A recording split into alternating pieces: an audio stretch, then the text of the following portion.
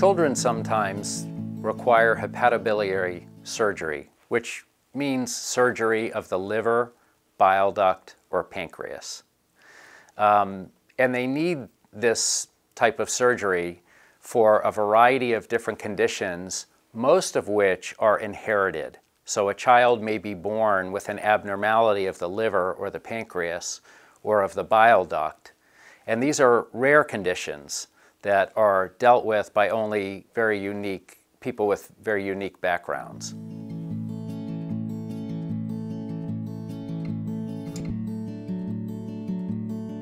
Hepatobiliary surgery refers to surgery of the liver, bile ducts, and pancreas.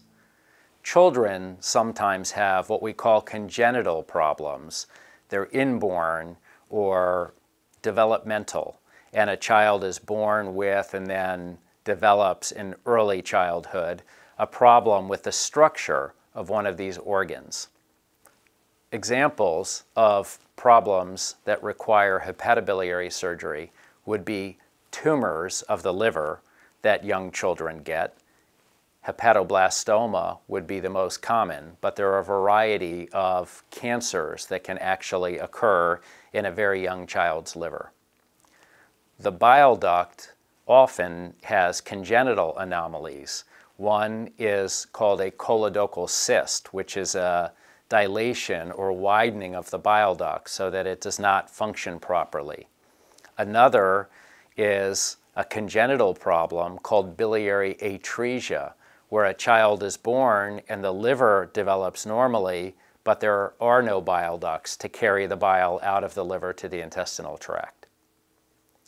Pancreatic disorders are quite rare in children, and these sometimes do require major surgery, which is very rarely done by pediatric surgeons.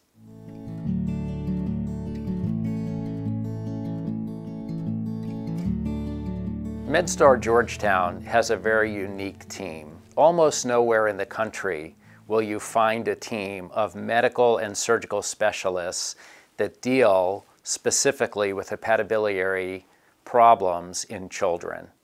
Because we have one of the largest liver and multivisceral transplant programs in the world here at Georgetown, we have assembled a team of specialists that are quite unique. So we have medical specialists who are just experts in liver diseases in children. Another who is just a specialist in pancreas diseases in children, and another who is a specialist just in malformations of the intestinal tract in children. Then we have surgeons who perform all these complex operations and transplants that are required for these rare diseases that come from all over the world to Georgetown.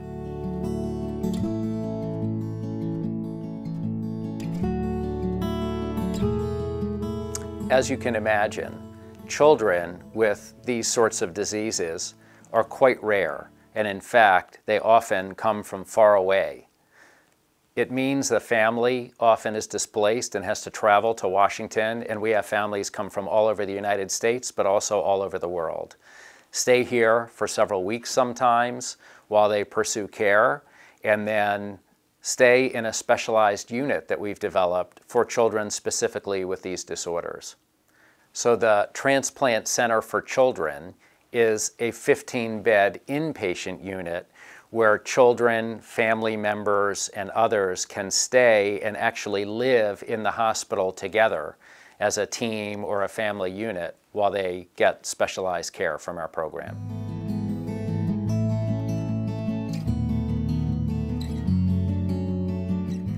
You know, over 20 years' time, MedStar Georgetown has accumulated a team of medical and surgical specialists that focus on these very rare problems of the liver, pancreas, and bile ducts in children. It's a unique asset that exists almost nowhere else in the United States.